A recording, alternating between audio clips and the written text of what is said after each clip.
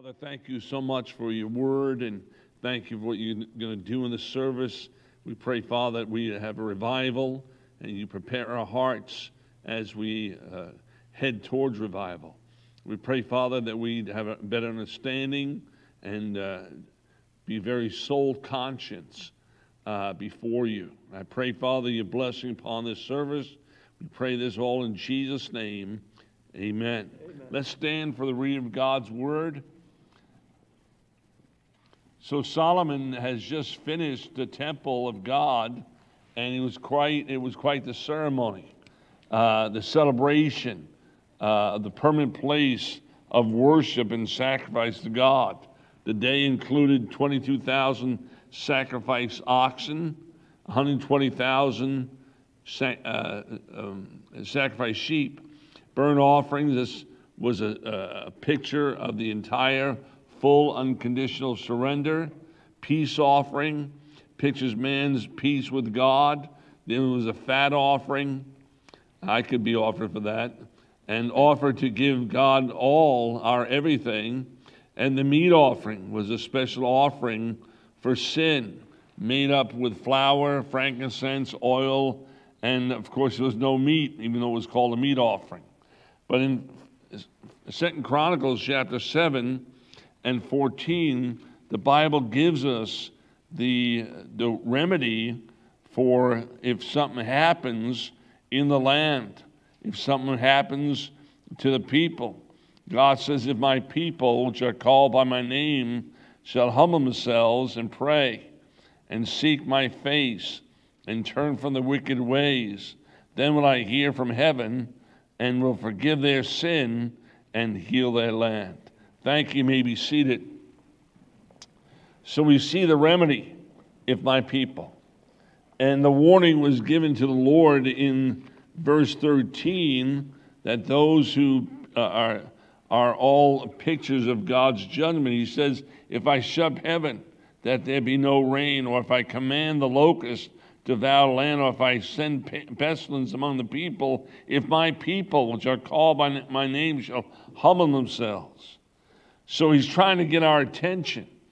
And we do not see the Lord's judgment upon, do we not see the Lord's judgment upon our nation? Uh, think about the hurricanes. Uh, this year, they'll be the most active uh, floods, tornadoes, earthquakes, mudslides, drought, excessive cold, uh, wildfires, rioting on college campuses, and people are rioting over Hamas and uh, how Israel mis- mistreated Hamas. You know, I have to tell you real quickly, there was these two nits that were on YouTube, and they were just complaining about Israel. And, uh, you know, the idea is when you say Israel, they're terrible people. Look, the whole world is filled with terrible people. I don't care what color they are.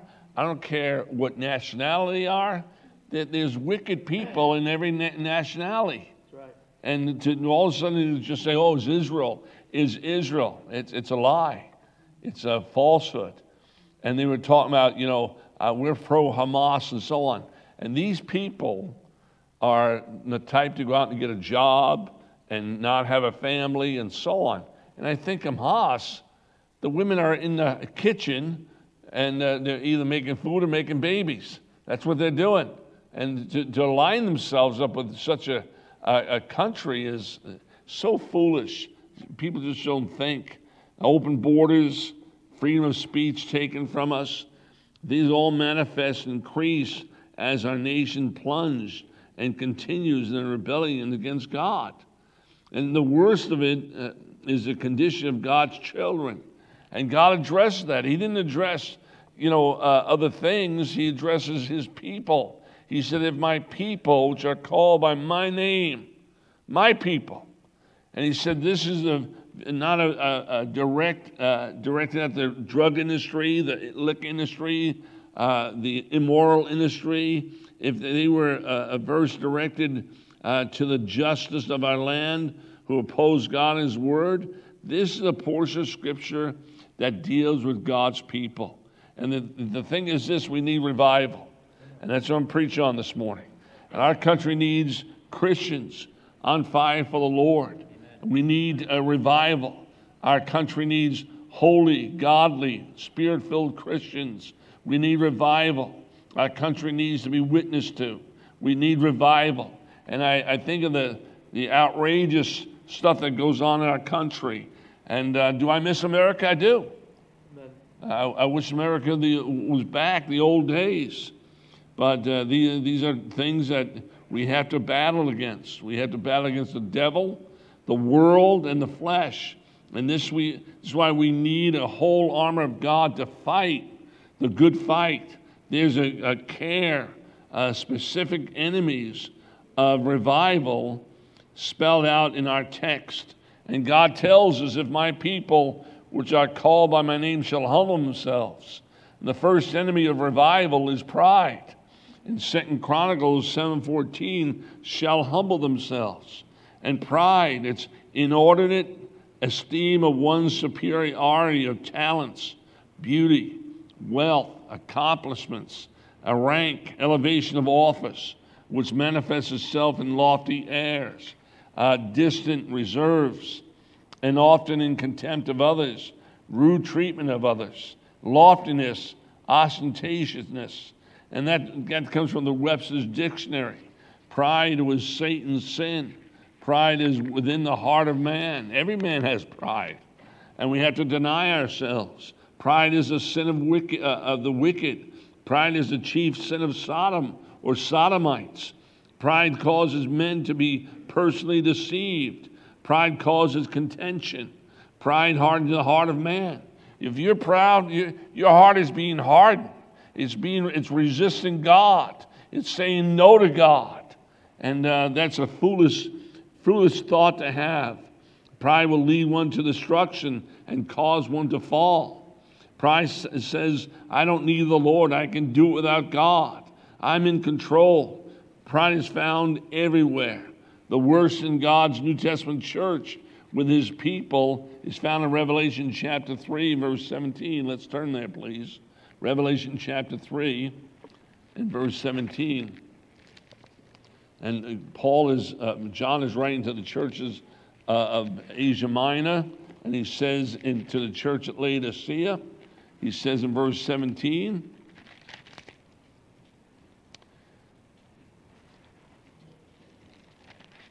I'm sorry. Verse 17, the Bible says, Because thou sayest, I am rich, increased with goods, and have need of nothing. Now, that is kind of like the churches today. They don't have needs. You know, the, the average Christian said, I don't need anything. Well, let me tell you what you do need. You need the leadership of the Holy Spirit. Amen. You need the power of God in your life. Amen. You need to have the God's word hidden in your heart that you might not sin against God. Amen. You know, we, we, we, there's so many things we're in need of. And for man to go around and say, I have need of nothing, this showed you their, their condition. And, uh, and knowest not that thou art wretched, miserable, poor, blind, and naked. And that was what Jesus said to them. That, that was from the Lord Jesus Christ. And uh, the Bible goes on and tells us, I don't need to serve God. I, I have need of nothing. I, I need to walk humbly. I have need of nothing. Excuse me, I don't need to walk humbly. I have need of nothing. I don't need uh, to be filled with the Spirit. I don't need to be holy. I don't need to be separated from the world. I don't need uh, the Lord's help. I don't need to obey my father and mother. I don't need to love my wife as Christ loved the church. I think, I think there's some of these statements like obedience from children. You know, I, I'm amazed at the disobedience and the Bible says prophetically that these conditions are going to be found with children. And I, I speak of children, if, if, they're living in your home, they're children. And uh, the, the thought is this, is I don't have to obey my parents. You know, that sort of a pride is so arrogant and, and uh, you know, thoughtless towards your, your parents. I mean, it really is. Uh, they provide everything for you. You know, not only the housing, but the food and the, the bedding and, uh, you know, uh, you know, three meals a day and uh, education and all these different things. And you go around saying, I don't need to obey my parents. I mean, that's wrong, beloved. Dead wrong. And I say that to the children because that you're part of the revival. I don't need to raise my children or children as the Bible teaches. The Bible says in Proverbs 6, verse 16, a proud look. Proverbs 8, verse 16, the fear of the Lord is pride. Hate evil and arrogancy, and the evil way and the froward mouth do I hate. So the Lord hates all sin, yet there's some that move the Lord to express and then judge them. Pride, thinking more of yourself than those around you. That's an offense to God uh, to our family, to our neighbors, to our society. I don't need to prepare and pray for our church services. Let's go back to Revelation chapter 3, please. Revelation chapter 3. Again, notice verse 17. And the Bible tells us in verse 17, because thou sayest, I am rich and increased with goods and have need of nothing. That's the average mentality of the average Christian in the average Baptist church. I have need of nothing. You know, if I have a need, I'll, I'll write a check, I'll get out my credit card. Uh, you know, I have need of nothing. And the Bible says, Know not that thou art wretched, miserable, poor, blind, and naked. I want to ask you a question. How would you stand before God today? Would God look at you and say, uh, You know, I agree with you, you have need of nothing? Would he, would he say that you're poor, miserable, etc.? Or he say, Well done, thou good and faithful servant. So these things are very important, beloved, when you consider the need for revival. And uh, the Bible says uh, the Lord hates all sin, and yet he'll judge certain sins quicker than other sins. And it's an offense to God and to our family. So, this is what the enemy of revival does it blinds us, it causes us to think we're right when we know, uh, when we know the scriptures tells us uh, differently. Uh, pray for the church services. That's why we meet at 10 o'clock to pray. And I'm, I do not know who's here, but were you here for a prayer meeting? Why not? I mean, we, we asked you, we, we cut out Sunday school so we can pray. It's very important to pray. So these things are, you know, we put them on a back burner. Oh, I got an extra hour. Not really. Pride causes us to be in such a sick and spiritual condition. Now, notice with me, if you would, Acts chapter 2, and let's compare ourselves to the first church in Acts chapter 2. And notice the Bible says in verse 42 and they continue steadfastly in the apostles' doctrine, fellowship, in the breaking of bread and prayers.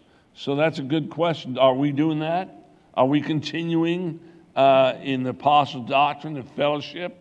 Uh, all that believed were together and had all things common, and sold the possession goods and parted to all men as they had need. And they continuing daily with one accord in the temple, breaking bread from house to house, did eat and meet with gladness and singleness of heart. So you see the condition these, these saints, uh, which they uh, had 3,000 saved on Pentecost, and uh, they were added to the 120 uh, before the day of Pentecost. The Bible says they, they were glad.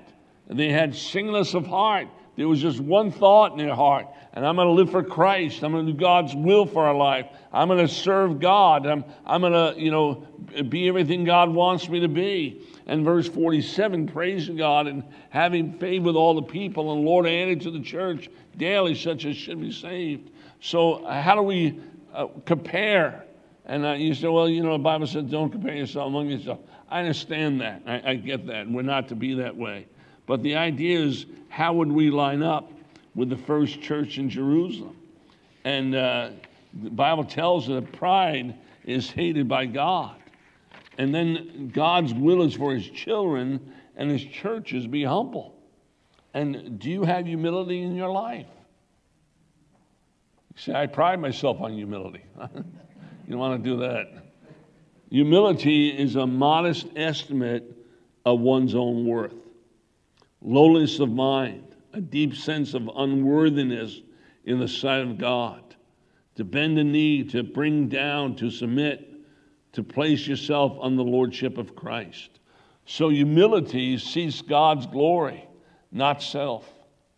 Humility uh, seeks to esteem others better than themselves. Humility is concerned about others, not self. Humility is Christ likeness. Humility submits to God's will.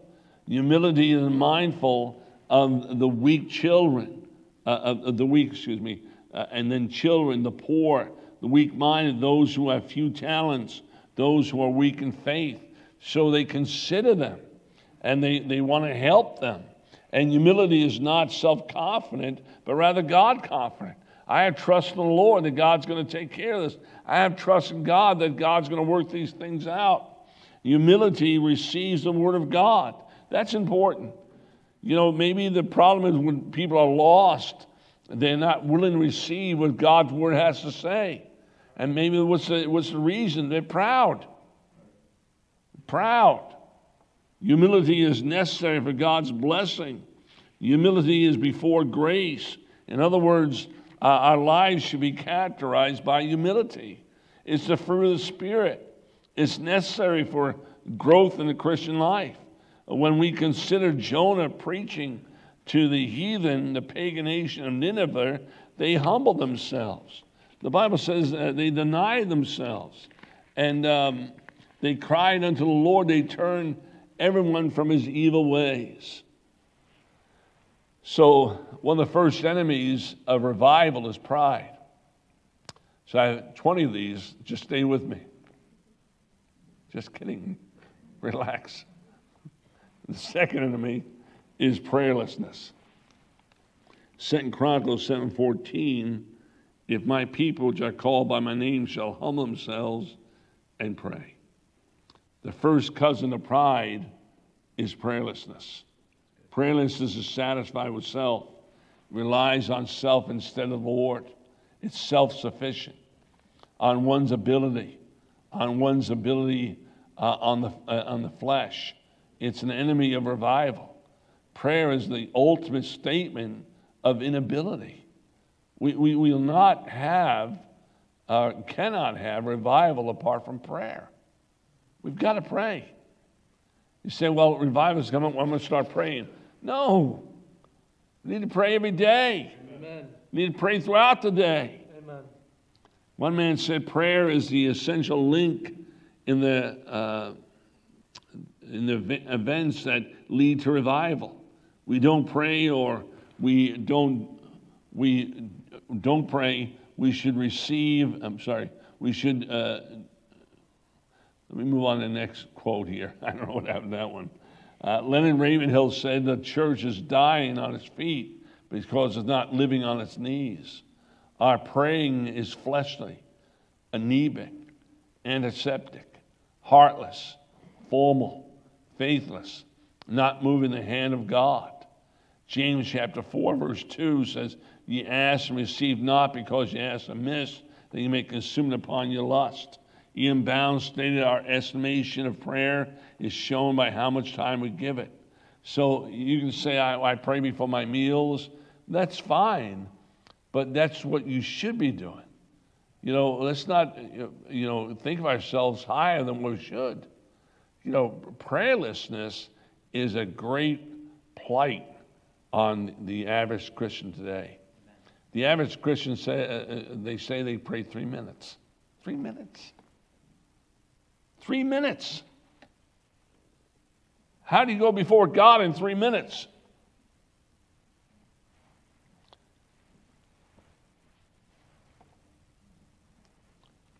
One of the great sins of our day prayerlessness. James 4 2, you ask and receive not because you ask amiss, that you may consume it upon your own lusts. E.M. Bounds stated our estimation prayer is shown by how much time we give it. The self sufficiency, we do not pray. The self satisfied will not pray. The self righteous cannot pray. Prayer should be in our last resort, uh, should not be our last resort, but our first. A.W. Tozer said, praying in the will of God is to want what the Lord wants. See, that's when you know you're praying. When you're, you're yielding yourself to the Lord's will, to what the Word of God has to say. R.A. Torrey said the chief purpose of prayer is that God may be glorified in the answer. And that's really what we want. We want to glorify God. What you, whatsoever you do in word or deed, do all to the glory of God. Amen. So that should be our motivation, the glory of God. The third enemy of revival is priority. In Second Chronicles 7:14, Bible says, "And my people which are called by my name shall humble themselves and pray and seek my face." So seek speaks of seeking out any method, especially by worship and prayer. Faith speaks of countenance, to turn towards his direction. In other words, as the Bible says in Matthew 6, seek ye first the kingdom of God and his righteousness. That's the key. Seeking first the kingdom of God, the kingdom that God lives in, that works in, uh, and so on. And revival will not come those seeking revival, but rather seeking God. You know, the Bible said, I quoted last week, uh, when revival came, they were a, a people saturated with God. That's the, that's the key, not saturated with revival, but rather saturated with God. Seeking God is not seeking Him for what He can do uh, for us, but rather wanting the Lord for who He is. So important. Loving the Lord for who He is. Our priority is seeking God, caring about what God cares about. Let's go to John chapter 5, please. John chapter 5, and let's look at verse 19 and 20.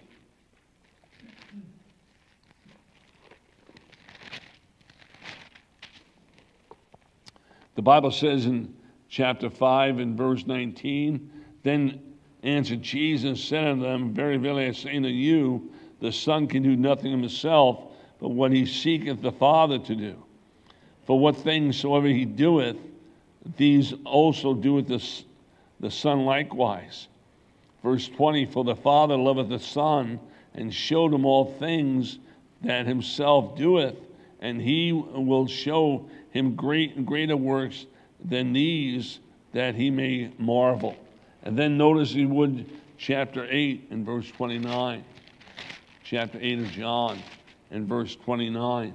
And the Bible says he he that sent me is with me. The Father had not left me alone, for I do always those things that please him. And that should be our, our motto. I want to please the Lord. I want to do those things that please God. Revival will come when we seek and hunger for the Lord, just not just what He can do for us. Some say the essence of revival is fall in love with Jesus all over again. And when the Lord is our priority, in everything, let's see where, we, where we're at. Ask yourself these questions. Number one, on what activity do I spend most of my time? Number two, on what do you spend most of your money? Number three, on what do you focus your thoughts on? So, where do you go? What do you spend your money? Uh, what do you invest in? Is Christ first place? Is Christ your priority? I mean, that's the question. If my people are called by my name shall humble themselves and uh, pray and seek my face, that's a priority. And are you seeking the Lord? Or what can you gain from the Lord? That's a good question. Is the Lord Jesus the main goal or is he a side issue? Is Christ a priority or is it an afterthought? Is Christ an addition to your life or is he your life? No, the Lord said, Seek my face. The fourth enemy of revival is presumptuous. So in 2 Chronicles 7:14, God tells us, if my people that call by my name shall humble themselves and pray and seek my face and turn from their wicked ways. Now, presumption is being presumptuous is, is assumption, taking a lawful license of liberty. Uh, here our Lord states, turn from your wicked ways. And we're in an age of justifying our sins. There's majority on the minor and minoring on the majors. Some are pharisaical, some are hypocritical. The Lord states, turn from your wicked ways. So, what are the ways in your life that would be considered wicked? Oh, I'm not telling you to tell me, but tell God. I think it's very important. Are you an honest businessman? Do you take from uh, people unjustly? Are you fair? Are you just? I mean, it's simple. This is Christianity 101. And we have to be, we have to be very fair with people. Revival has not uh, come to presumptuous people. God's people must be honest with God. Think about our nation. We're not, we're not honest with our, as a nation. We're not.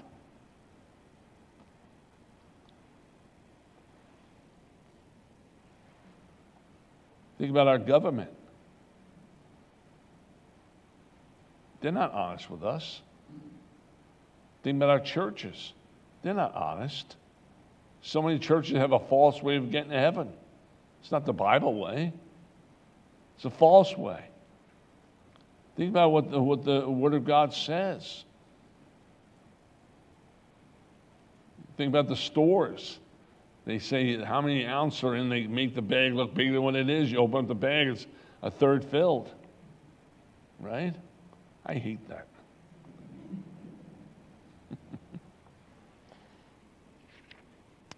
Our nation is not honest. Our nation is hypocritical.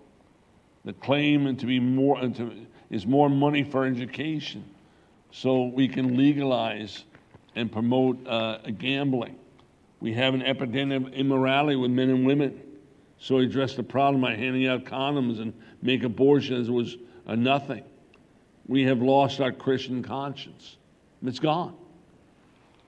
And really, when you go to a church like ours, that's where you find the Christian conscience. Otherwise, it's not in society, it's absent. And open borders, lack of lawful obedience. We have people leading our country who are against our country. And but what does the child of God doing at justifying, rationalizing, excusing our sin before a holy God. I mean, think about the absurdity of that. How can you excuse our sin, presuming that God will overlook our sins and bless in spite of our wickedness? I got to the place where I can't, I can't sing God Bless America. I don't think America needs to be blessed. We need revival. It starts here in the local church.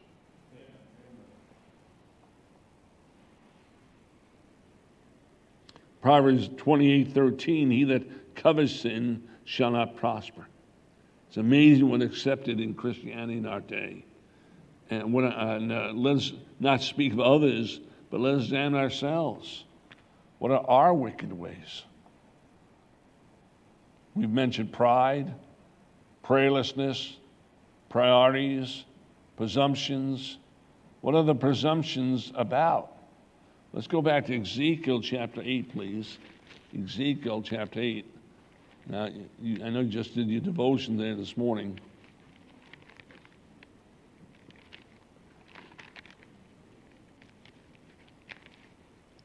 And notice verse 12.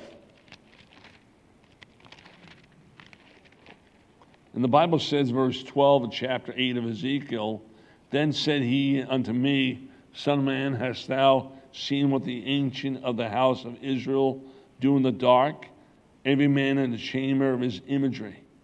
For they say, The Lord seeth us not. Lord hath forsaken the earth. He said unto me, he said also, said also unto me, Turn thee again, uh, yet again, and thou shalt see greater abomination that they do. Now, these are people who are servants in the house of God. I mean, it's unbelievable. Then he brought me to the door of the gate of the Lord's house, which was toward the north, and behold, there sat a woman weeping for Tam- Tammuz. And then said he unto, the, unto me, Hast thou seen this, O Son of Man? Turn thee yet again, and thou shalt see great abomination than these. Now Tammuz was a false, a false god. Was an idol. And verse 16, he brought me again to the inner court of the Lord's house, and behold, the door of the temple of the Lord between the porch and the altar were about 520 men with their backs towards the temple of the Lord and their faces towards the east, and worship his sun before the east. Then he said unto me, Hast thou seen this, O Son of Man? Is the light thing to the house of Judah that commit the abominations which they commit here? For they have filled the land with violence and have returned to provoke me to anger. And lo, they put a branch in their nose. Therefore will I also deal in fury. Mine eyes shall not spare, neither will I uh, have pity. And though they cry unto me, uh, mine ears with a loud voice, yet will I not hear them. Now, that was going on in the temple of God. People are committing abominations.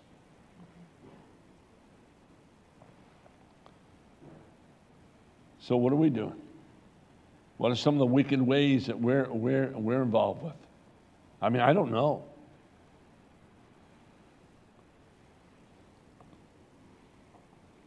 And then 1 John chapter 5, verse 21, the Bible tells us, little children, keep yourselves from idols. Amen? Amen. And what idols do you have in the chambers of your heart?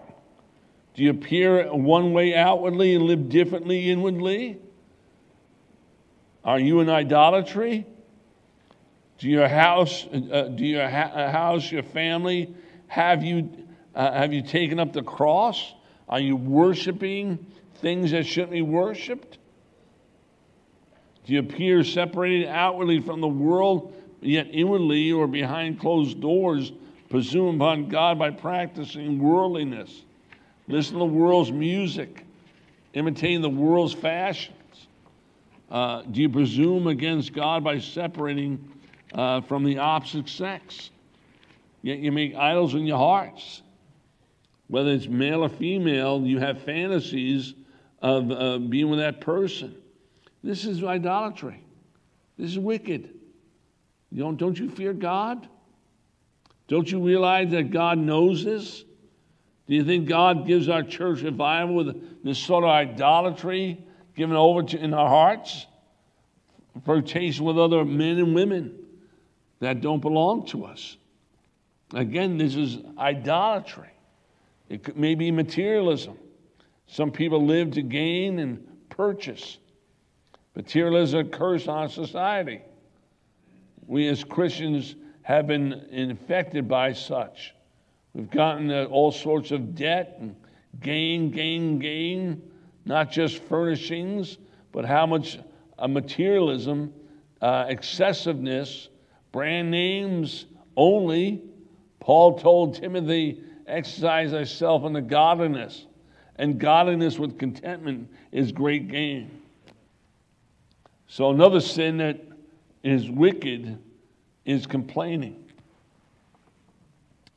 We complain about life, situations that happen to us. Uh, it could happen uh, about ourselves, our lives, our health, our jobs, our situation, our predicaments, complain about our needs, provision, etc. One would think was uh, worse when we, when we were lost. I mean, that should be the ultimate complaint. I was so lost. I was without Christ. But see, saints of God are affected by the world. The world complains about the weather. What are we going to do? Join in. Oh, it's cold out today. Oh, it's rainy. Oh, it's this. Oh, it's that. It's complain, complain, complain. Can't believe the price of milk. Can't believe the price of bread. I can't, I can't believe. Believe it.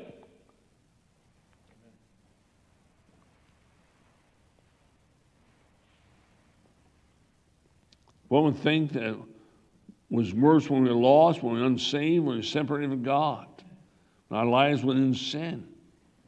No, God's people murmur and complain about too much. Everything's a problem. Something we, we murmur uh, that's so unjustified. We think it's possible. We think it's possible that the Lord allowed these things. God directed your steps. The Lord put you in such a place and position to complain, to question God's goodness, His leadership, God's provision.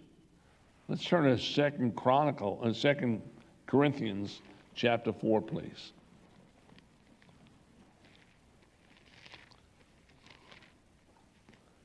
Chapter four, and we pick up here in verse eight. Know the Bible said we are troubled on every side, yet not distressed. We are perplexed, but not in despair. Persecuted, but not forsaken. Cast down, but not destroyed. Always bearing about in our bodies the dying Lord Jesus, that the life also of Jesus might be made manifest in our bodies. For what for we which live are always delivered unto the death for Jesus' sake, that the life also of Jesus might be made manifest in our mortal flesh. So these things that Paul mentions in chapter 7, 8, and 9, it was for a reason. He said, persecuted but not forsaken, cast down but not destroyed. So these, uh, these things are so important that we realize what God is doing when He does this in our lives.